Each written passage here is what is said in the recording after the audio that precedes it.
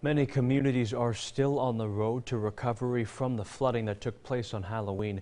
In Ohio, portions of Route 8 were swept away by rising waters from the West Canada Creek.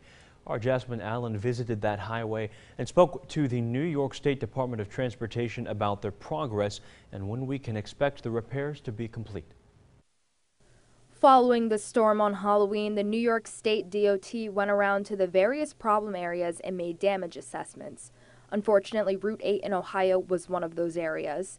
Three portions of the highway were destroyed, leaving part of the road completely swept away by floodwaters. This one here is just south of Route 365 interchange. Um, also, there's one north of here and also one in Morehouse.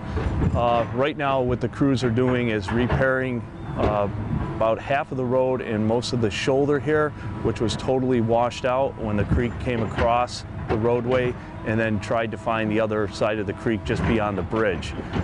Crews have been working seven days a week from sunrise to sunset in order to get all lanes back open as quickly as possible, not only for ongoing traffic, but also to ensure that emergency services can get through efficiently. The contractor is hoping to pave this section, if not tomorrow, uh, on Saturday.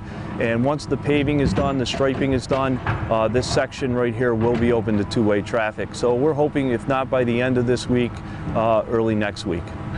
We will continue to bring updates on the status of those repairs and other road reconstruction projects throughout the area.